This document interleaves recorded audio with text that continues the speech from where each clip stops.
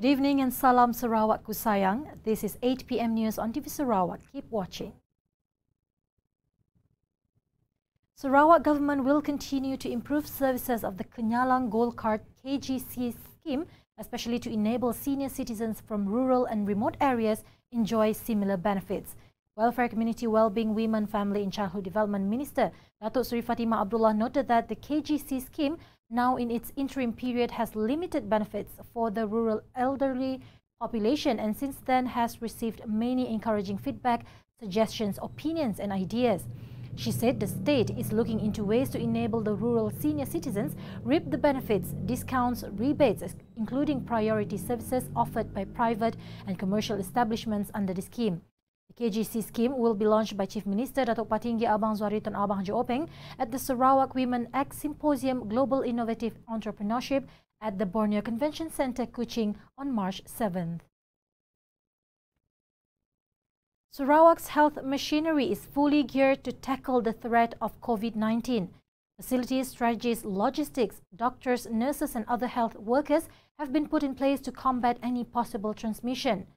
State Disaster Management Committee Chairman Dato Amar Douglas Uggah Amba said additional thermal scanners at Kuching International Airport, Sibu, Bintulu and Miri airports and ICQS Sungai Tujuh would be made available by the Health Department.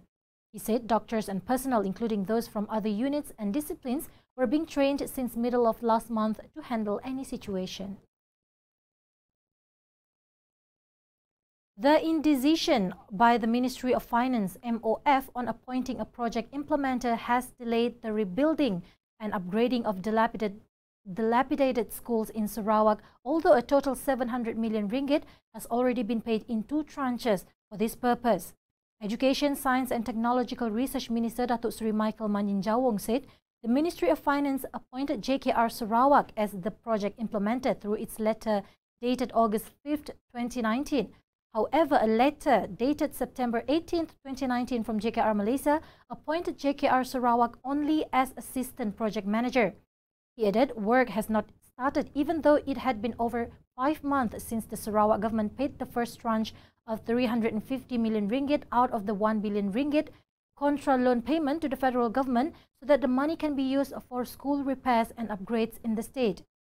The Sarawak government already paid the second tranche of 350 million ringgit to the MOF on February 7th this year, he hoped this matter could be solved as soon as possible so that the projects can finally commence. And that concludes the English news for today. I'm Shira Abamanso for TV Sarawak. Thank you for watching.